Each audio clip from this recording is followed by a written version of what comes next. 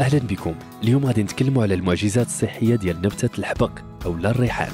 الحبق كيتعتبر نبات عطري كيتكون من الألياف والدهون والكربوهيدرات والبروتينات والزيوت الطيارة مضادات الأكسدة فيتامين جيم فيتامين الف الحديد الكالسيوم البوتاسيوم المغنيسيوم ومركبات البيتا كاروتين من بين الفوائد ديال الحبق لجسم الإنسان أنه كيحسن من صحة العظام كيحارب البكتيريا كيحسن صحة العيون كيحارب الأورام السرطانية كيخفف من الصداع والشقيقة وكيساعد في فتح الشهية.